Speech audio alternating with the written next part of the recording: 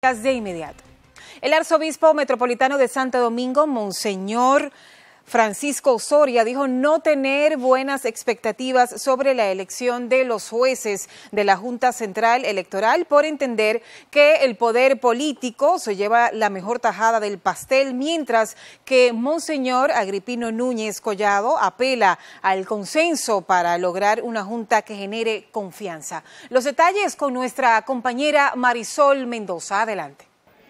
El arzobispo metropolitano de Santo Domingo, Monseñor Francisco Osoria, dijo que debido al revanchismo político en la República Dominicana, el que tiene más poder saca mayor provecho. Ya dije que no tengo buenas expectativas porque hay un revanchismo político y aquí el que tiene más poder pues se lleva el, el, pastel. Mientras que Monseñor Agripino Núñez Collado dijo que el país requiere de una junta que genere confianza y que sea producto del acuerdo y la concertación.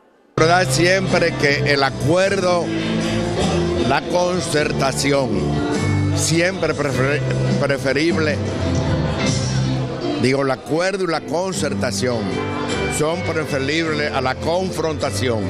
Y el país no necesita, necesita un ambiente de gobernabilidad, de convivencia, donde eh, todos los dominicanos podamos trabajar por la superación de los problemas que afectan a la nación. Osoria y Núñez Collado fueron entrevistados luego de participar en un desayuno conferencia organizado por el Seminario Santo Tomás de Aquino sobre democracia, realidad, valores y desafíos.